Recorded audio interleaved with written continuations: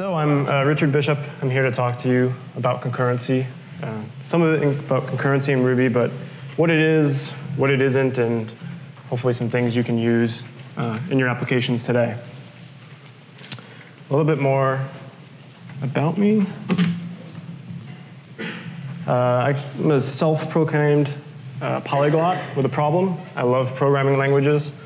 Um, I don't know if it's all right to say this at RubyConf, but if you're not looking at another language to play with, just to bend your mind in different ways, you really should. There's a lot of interesting stuff out there right now. Um, and a lot of them are dealing with concurrency in interesting ways, and that sort of had an impact on me as a Rubyist. Uh, and then away from the keyboard, I'm a huge coffee and beer nut. And it's great that this is in San Diego, because I used to live here. And we also have the best beer in the world, in my opinion. So if you're out and you see some local beer, try it. But don't drink too much, because you are at a conference, and you don't want to make a fool out of yourself. And since this is a conference, got to give a shout out to my employer. I'm a freelance programmer. Uh, we are not hiring. so for me, learning about concurrency was actually an accident. Um, I like to call it the other side of rack. Most of our time is spent on the app.call side. And then completely down the other side, you go into web servers and system calls. So one night I had this issue with uh, bind two. And at the time, I'm like, well, what's bind two? This looks like a method call. I don't have a method called bind. Right? Not even realizing what a system call was. And it kind of went from there down into these patterns that Unicorn and all these web servers implement. Um, but it's a lot of fun, and Ruby is actually a great language for getting your feet wet in concurrency, because we have all the primitives. Um, and obviously, of course, it leaves you wishing you had more, uh, and that's sort of the story with Ruby and concurrency. Um, but it's a good place to get started. So what I'm going to talk about today, uh, we're going to start with just some concurrency basics. Um, some of you are probably familiar with a lot of this, for others might be new to you. And we'll look at some practical uses of concurrency in Ruby. And a lot of the talk's actually going to be about abstractions, because that's really what concurrency is all about, as I'll explain in a little bit. And we're also going to talk about Ruby, because this is RubyConf. And that might sound weird, but probably about 80% of this talk is about concurrency in general. And then the other 20% is going to be about that as it sort of relates to Ruby specifically. But concurrency is a huge, huge topic. Um, so I have a not agenda as well. uh, a lot of talks on concurrency start off with spawning some threads and then seeing how quickly you can put a million integers into an array. That's not really exciting. It's it never got me interested in concurrency, and that's parallelism anyway. And we'll talk about those differences later. I'm not going to bash the GIL, because that gets done a lot. Um, it's here. Deal with it. We're mostly I.O. bound anyway. And I'm not going to look at a bunch of other runtimes. As Rubyists, we're pretty spoiled we get to run our code on like five different runtimes, but each one of those could be a talk all by themselves.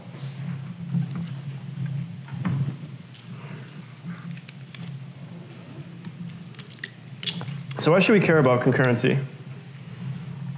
So we all know, right, we've, if you've heard of the, the free lunch is over, we're in a multi-core world. Um, we need to get more out of our hardware. As Rubyists, we love forking. It's really expensive. Um, maybe if you don't get the server bill every month, you don't care but uh, I think we should be getting the most out of our hardware. Another one is better user experience.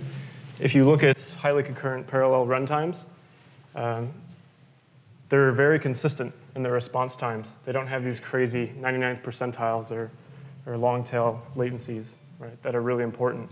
Like we just, you can't just look at the request per second or the average response time. You have to look at the whole picture. And the last one was a huge surprise to me as I learning, started to learn more and more about concurrency. Um, you actually see some better design when you design your programs concurrently.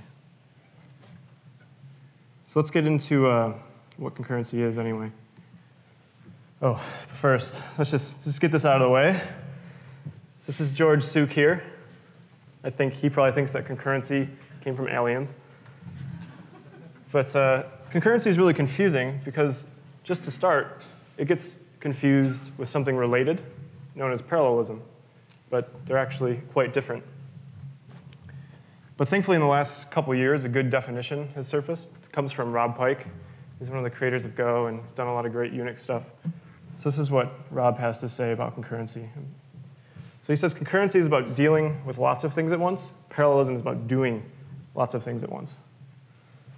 So that's a pretty good definition. But if you're like me, the first time I saw that, now I knew what it wasn't, but I, didn't, I still didn't really know what it was. There's not really any context around it. So to look at, uh, make this a little more concrete, I think most of us are application developers. So first, to look at parallelism. If you're on a, a multi-core computer and you're using threads or lots of processes, with several cores, um, those can actually be all CPU bound, up to the, the number of cores that you have at the same time. But the big thing is those are just points of execution.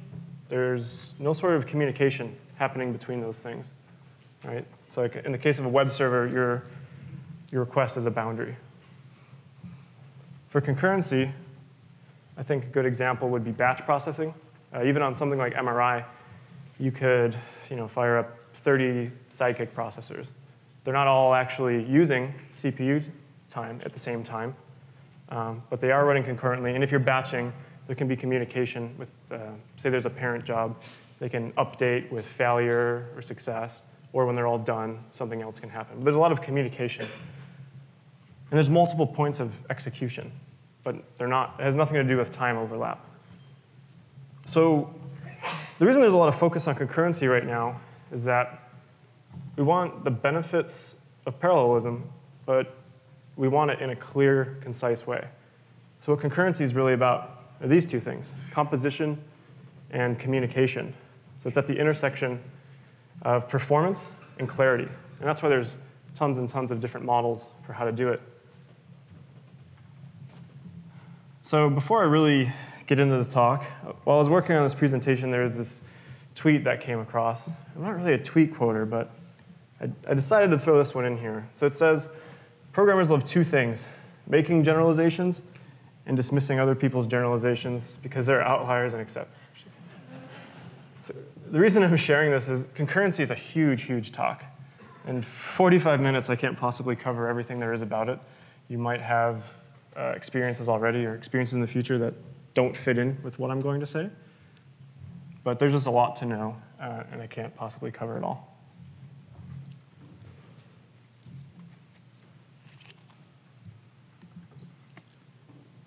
So with concurrency, there's just covering the basics. There's three things that were, were given by operating systems and, and by hardware developers. That's processes, threads, and events. Um, these are the, the bare minimum that you'll have. And if we look at these in the context of parallelism, if you're on a multi-core computer, again, not Ruby specific, with processes you'll have CPU and I.O. parallelism, with threads you'll have the same. So events are kernel events. Those are only used for I.O. There's no CPU concurrency or parallelism with events. So this last column is communication, because that's really, again, what concurrency is about. And when you have lots of these running, you have to find a way to communicate between them. So with processes, we do that with inter-process communication. So on the same computer, that might be pipes, or sockets, or message queues, whatever it might be. But that's the only way to communicate between them. With threads, we know sharing memory is how we communicate between threads, and we know all the parallels that sort of come with that. And then events, there, there just isn't a way to communicate between them. They're just callbacks that you run, and um, as they finish, they get completed. Um, so with, with events, they need to be heavily abstracted. That's why there's that little Node.js jab there. Uh, by themselves, they really, really get unwieldy. Uh, if you look at languages like uh, Clojure and Erlang or Elixir, there's events there, but you don't even know it. It's taken care of for you by the runtime. So to recap the basics, so concurrency is really about composition and communication. So the concurrency is how you structure these programs. And parallelism is how they're actually executing at the same time. And then we have these three primitives that we deal with. And we have these in, in Ruby, of course. But this talk, it's about concurrency, but mostly it's about threads. So um, whether you like it or not, threads have sort of been chosen as the fundamental unit of concurrency.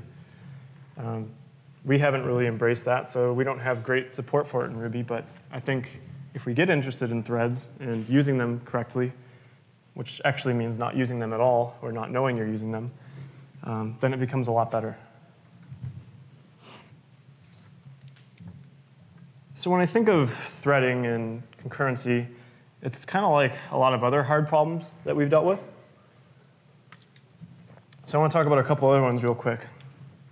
So the big thing is something has to be hard to do, but important enough to want to do it.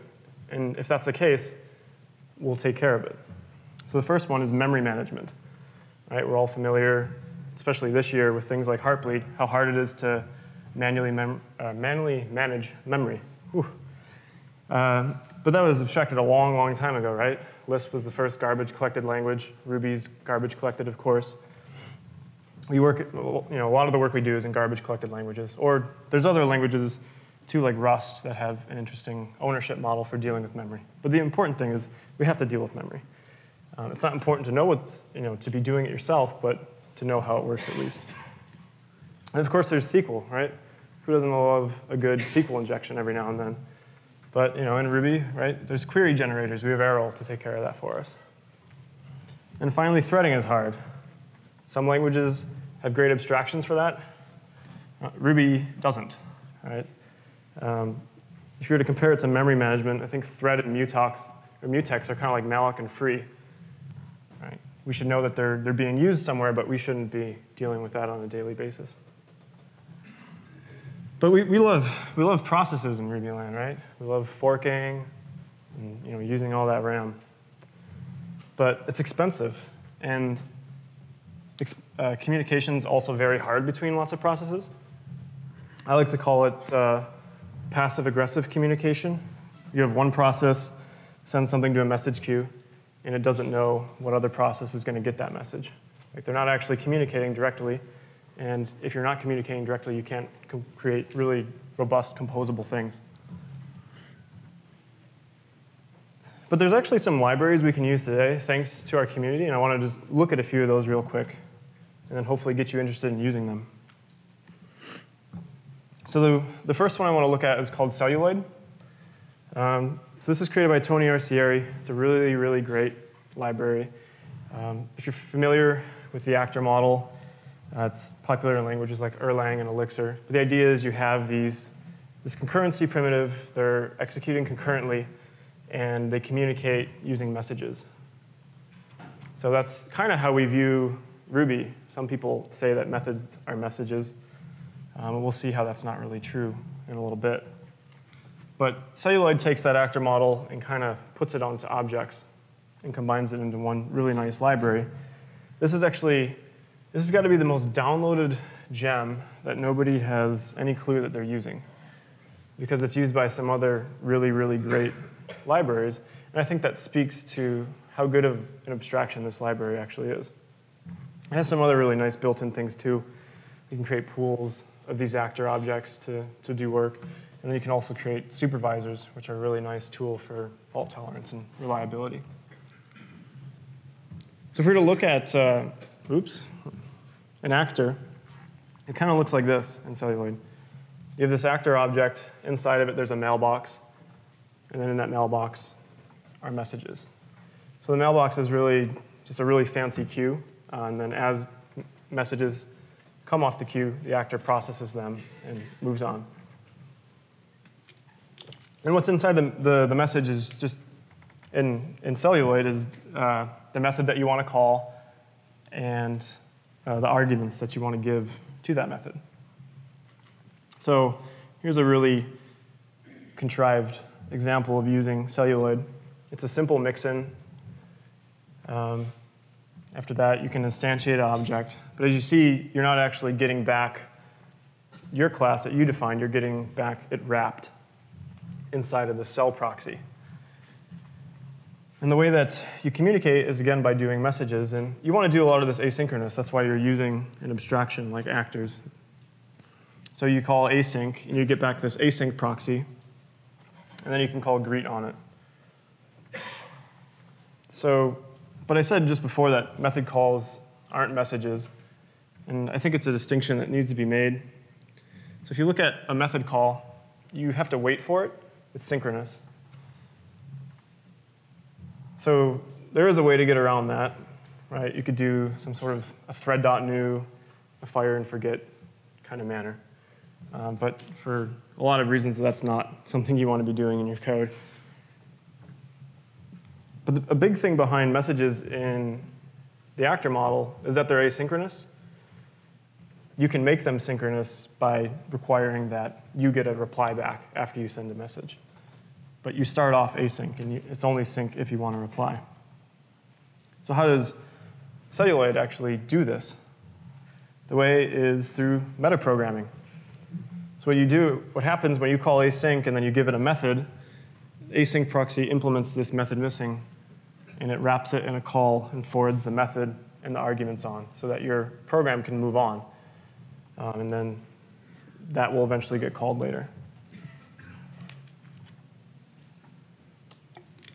So the reason I wanted to talk about this library first is the next one that I want to show you uses it. And I hope everyone in here is using this library by now. Uh, Sidekiq, it's tremendous. Uh, if you were previously using Resque or still are using Resque or Delayed Job, I'd encourage you to check it out. Um, so this is made by Mike Perham. It's a fantastic background processing library. Um, you can, in a typical Ruby application, one of these workers can replace between 8 to 20, in my experience, Resque workers. And the one weird trick it has for doing this is it's multi-threaded. So even in MRI, threads are still useful because you have I.O. parallelism, or concurrency rather. If you look at the design of Sidekiq though, again, it's using celluloid behind the scenes, it looks like this. So you have this launcher uh, object. When it gets started up, you get a fetcher and a manager. And then the manager manages these processors, which are the things that actually uh, do the work of instantiating your jobs and running the code. The interesting thing about this, uh, there's two things in my opinion. There's really clear, visible separation of concerns when you look at these pieces, and they're all running concurrently. And that's because they're all actors, and they're all communicating with each other using messages. So the manager can send a message to the processor of a job to work on. Uh, the fetcher sends that job to the manager, or the manager can request from the fetcher also. So this is a really great library. I'm just curious, who, who in here is using Sidekiq? That's, that's good. That's, that's pretty good. it's a surprise almost. so Ruby is also really popular among startups. And I know startups, you're all super, super busy. You don't even have time for stuff like concurrency. But there's another really cool background job called Sucker Punch. Uh, this is made by Brandon Hilkert, also using Celluloid. It's completely in memory. Uh, same API to, to Sidekiq, so if you need to upgrade later, it's very, very simple to do. And you don't want to use sucker punch for obviously very, very important jobs, right? Because it's in memory. If your process crashes, your, your queue is gone. But for prototyping and things like that, it's, it's, it's awesome. And the last library I want to show you real quick is called Puma. So this is a, a multi-threaded web server. It actually does forking as well, and it has a reactor inside of it. So this is like a, it's a concurrency buffet. It's got it all. But to look at the design of it again, uh, you kind of see these clear separation of concerns. On the right, you have uh, what's known as a thread pool, a very, very common concurrency abstraction. Uh, it's basically you, will have uh, a bunch of threads all sharing a resource, and they use uh, mutex, which is around this request queue, to uh, change that resource. And then on the left, we have this acceptor thread, which is a, just a, a TCP server accepting requests and then handing them off to this, re this request queue that then gets processed by these threads. So again, very, very clear separation of concerns. That's what makes doing threaded like this possible. Right? If you don't create good abstractions for threading, you're going to have a really bad time. Um, and another thing to keep in mind when you're doing these types of things, this, you have to keep an eye for, for potential bottlenecks. And in this case, that's probably the mutex around this queue. But realistically, not a huge deal because this is the real bottleneck in a language like Ruby. I think we can agree. So to recap just this section real quick, this is all about abstractions. So you see actors and thread pools. Uh, and I just wanted to show you some libraries that you can use right now, or should be using right now to, to get better use out of your hardware. The next section is the one that's really, really interesting to me as I've learned more and more about concurrency and have used some, some other programming languages. That's uh, the design benefits that you get out of designing your programs concurrently. So right now there's, or as always, I guess, there's a huge emphasis on design, right? You hear so much talk about designing in the small or service-oriented architecture, um, service objects, microservices, whatever. There's probably tons of talks here about software design. So what design is really about is pain.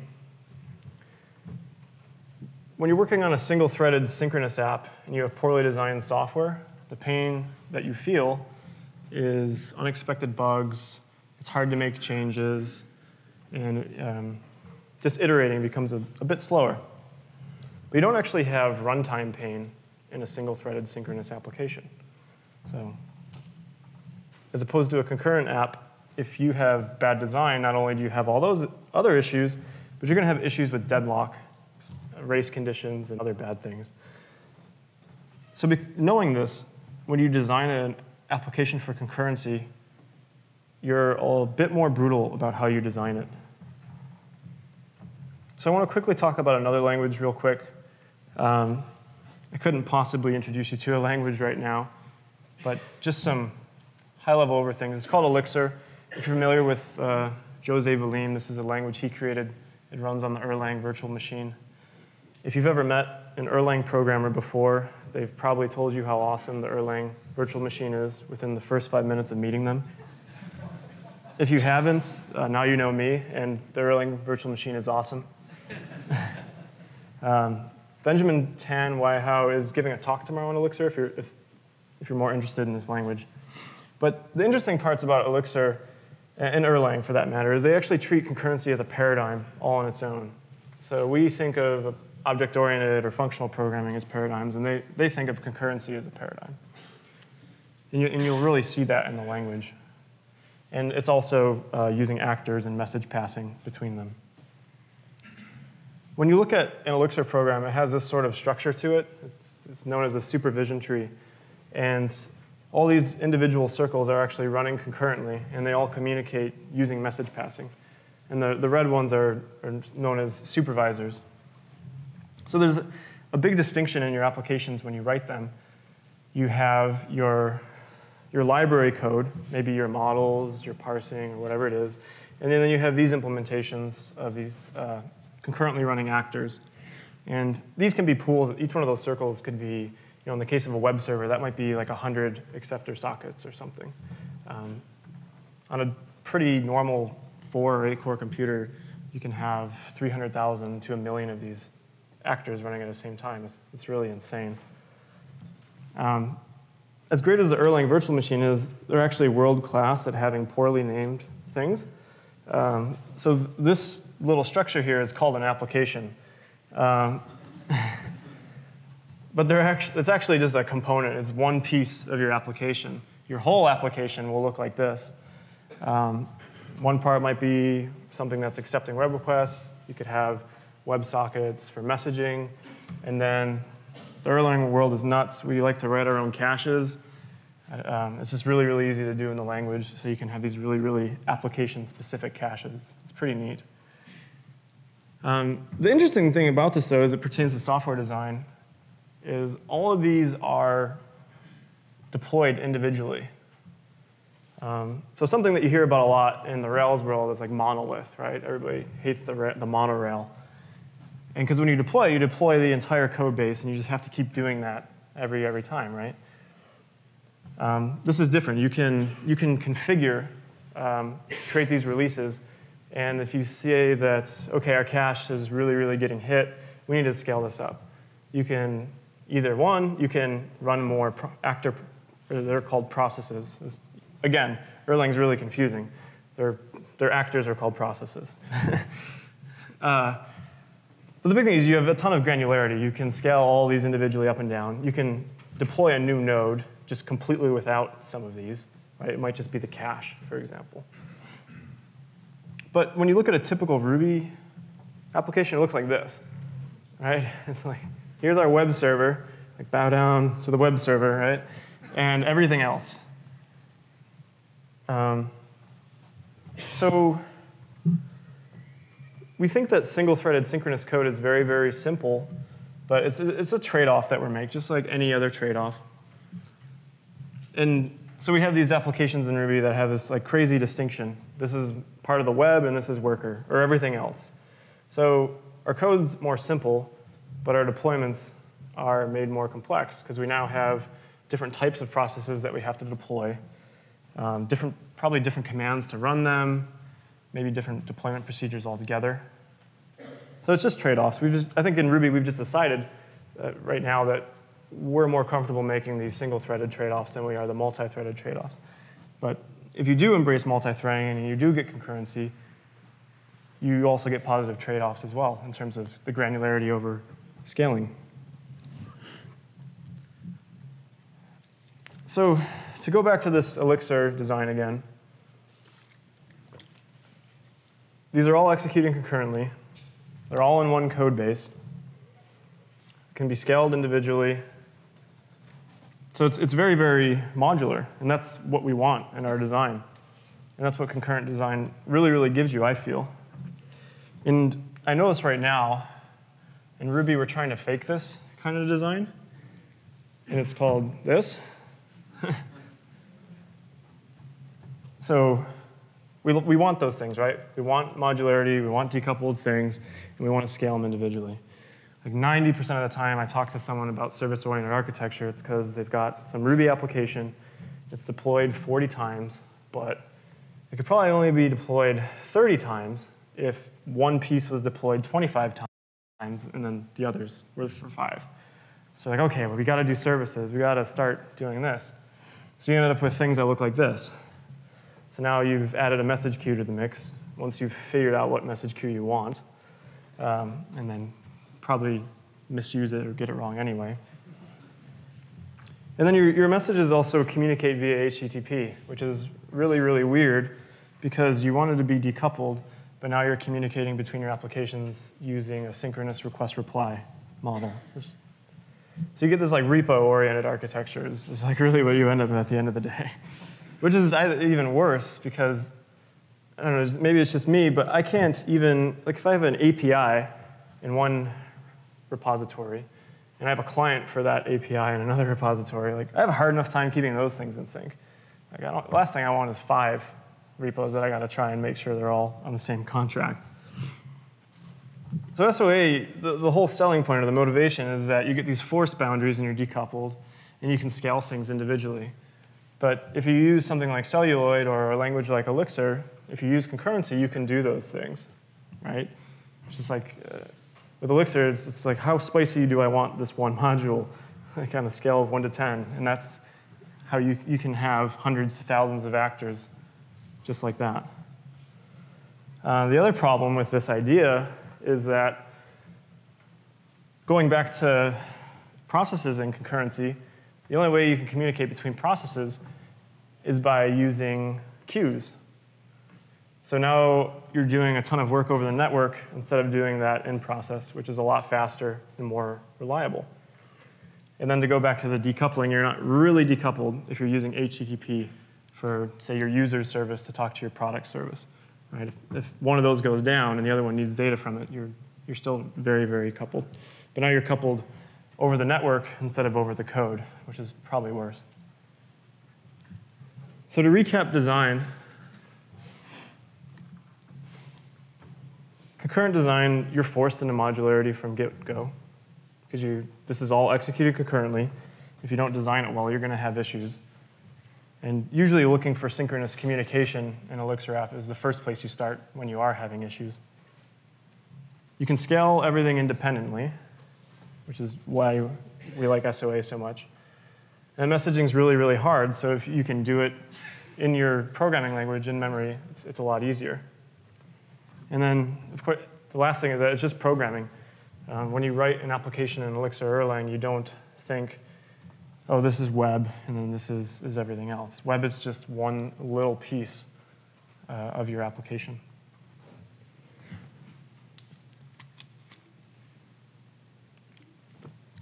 And finally, I wanted to stick up for Ruby a little bit as it relates to concurrency. Because um, I haven't really picked on the GIL at all yet, and I won't. Um, JRuby is actually pretty awesome. There's a talk on it again this year.